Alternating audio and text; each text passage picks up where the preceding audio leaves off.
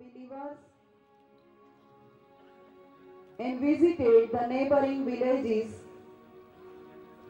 There, there are Odia apps where we get the Bible texts and all, Yeah. and also the Bible uh, Odia worship songs or the worship songs which we have in the church. There are also apps, so they use it, um, which is good, of course. But sometimes carrying the Bible with us helps us to grow a bit more spiritual. This is my point of view. So.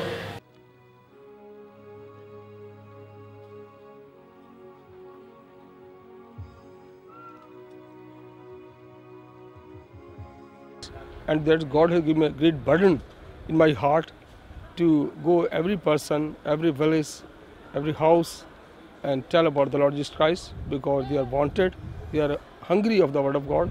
Uh, 2000 uh, 70. Uh, my brother, the David, uh, meet to me and tell what the TWR ministry. Through we give the message of all persons and villages through by radio. village people they listen by radio, they learn and teach and get having blessings through by radio ministry. One day, suddenly the was victimized by. Nowadays, uh, uh, many youths and adults and many all age group people they are attracted towards uh, technology. So most of the people they use mobiles. So it was a very good idea that we put some uh, programs in the YouTube so that uh, people can uh, use YouTube media and all the media so that through that we can reach to them with word of God. So this couple started prayer and organized fellowship at their house there. I greet you all in the name of our Lord and Savior Jesus Christ. Uh, and this is the studio where it is uh, done by with the help of uh, SANSA and LWF.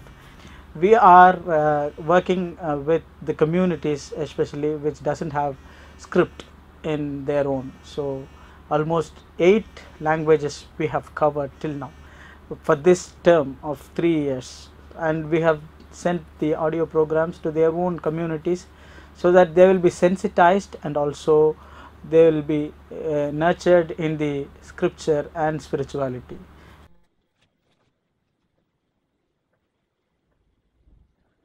Last but not the least, this is a story of one religious leader. His name is Swami Sompuri. He is a priest in a temple in place called in Gujarat. This is a very famous